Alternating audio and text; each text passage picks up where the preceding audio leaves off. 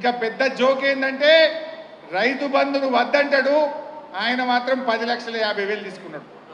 పది లక్షల యాభై వేలు తీసుకున్నాడు.